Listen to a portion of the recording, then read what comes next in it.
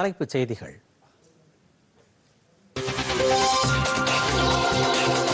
உணவு பாதுகாப்பை உறுதி செய்ய ஊட்டச்சத்து மிகுந்த சிறுதானிய பயன்பாடு இயற்கை விவசாயத்தை ஊக்குவிக்க வேண்டும். ஜி ஏழு உச்சி மாநாட்டில் பிரதமர் நரேந்திர மோடி வலியுறுத்தல்.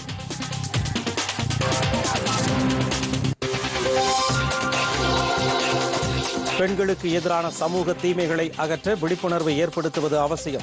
குடியரசுத் தலைவர் ராம்நாத் கோவிந்த் பேச்சு.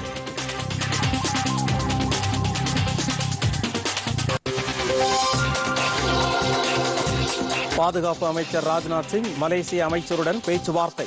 இந்தியா மலேசியா ராணுவ ஒத்துழைப்பை மேம்படுத்த முடிவு.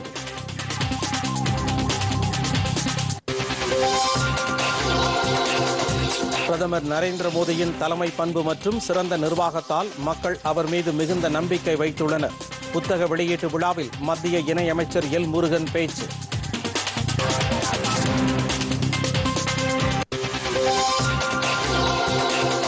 விம்பிள்டன் டென்னிஸ் போட்டி. ஆண்டி முறை நோவாக் ஜோகோவிச் இரண்டாம் சுற்றுக்கு முன்னேற்றம்.